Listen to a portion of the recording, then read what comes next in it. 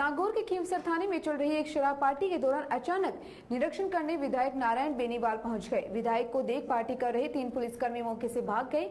मौके पर शराब खाने की वस्तुएँ और कटे फल मिले हैं। विधायक ने सीधे एसपी डॉक्टर विकास पाठक को मौके की जानकारी दी और कार्रवाई करने को कहा। इसके बाद मौके पर वर्ता अधिकारी मुकुल शर्मा को रवाना किया। थाना अधिकारी भी रात को मौके पर आए और मामले को लेकर एसपी विकास पाठक ने बताया की जाँच सीओ नागर को रहे हैं तथा हर पहलू की जाँच होगी विधायक नारायण बेनीवाल ने बताया कि स्टाफ के शराब पीने और सही व्यवहार नहीं करने की शिकायत बार बार आ रही थी। शुक्रवार रात को भी ऐसी शिकायत मिली थी तो मौके पर पहुँचे थे, लेकिन मौके पर शराब पार्टी चल रही थी, फल आदि कटे हुए रखे थे। वहाँ पहुँचते ही तीन पुलिसकर्मी जिनमें एक हेड कांस्टेबल और दो कांस्टेबल नंगे पाव भाग गए।